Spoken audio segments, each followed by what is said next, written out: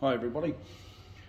We're uh, very proud to announce the release of the new Infinity lockdown system. A lot of people are familiar with the old system which involved a thumb screw to lock the front of the drawer, slides or hutches and so on in place. We've now got the new Infinity which you can see has a locking plate on the front end which allows you to remove the drawer literally in seconds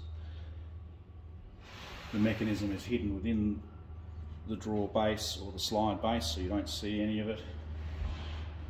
The lockdown mechanism is easy to remove from a floor, clicks into place and then locked. And that is secure, two points at the front end of the drawer, centrally locked with the button makes removal and reinstallation of any of the drawer modules and slides and so on uh, a matter of seconds as you can see.